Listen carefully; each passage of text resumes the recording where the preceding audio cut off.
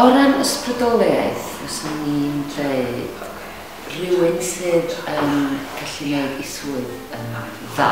Mae gennau, dim ond pa faes yeah. maen nhw yn efo.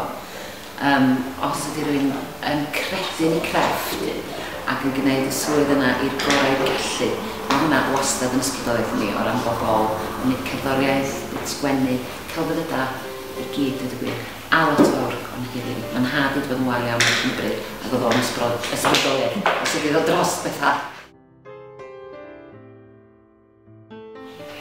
O ran y prosiect yma, ges i nenu ato fo oherwydd bod sbyty dim bach wedi bod yn rhywbeth oedd ni fel plant yn ei ofni, dweud y gwir.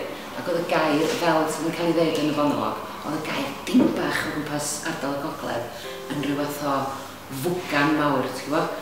a wedyn mi oedd y Professor David Healy sydd wedi um, rhaid egin i'r prosiect yma ran um, rhyddhau uh, gwybodaeth am yr, uh, y cleifion. Mi oedd o wedi cysylltu efo Brannan ac wedyn mae be mae Iolanir wedi gwneud hefo David Healy dwi'n meddwl yn wych wedyn oedd nhw wedi comisiynu um, Alan Jones Williams i sgwennu'r darn ffantastig yma. Um, felly, o'n i methu deud na. Rhy dda. I ddeud na iddo fo. O ran y fonolog yma, um, mae'r ma, r, ma sgwennu mor dda wyt ti yn gorfod ymgolli'n llwyr. Felly dwi ti'n meddwl, um, mae ma actio fel arfer i wneud efo'r efo connection a ti'n cael efo, ti'n cael efo actor arall, ond wyt ti'n cael yr, yr connection yna efo um, be mae Aled wedi i sgwennu.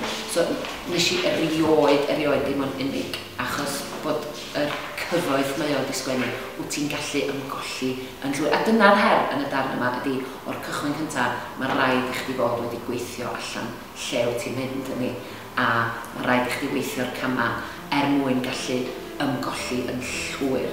Dyn, dwi ti'n mynd ymwybodol ydyn, o ddim byd yn gwmpas di, gobeithio.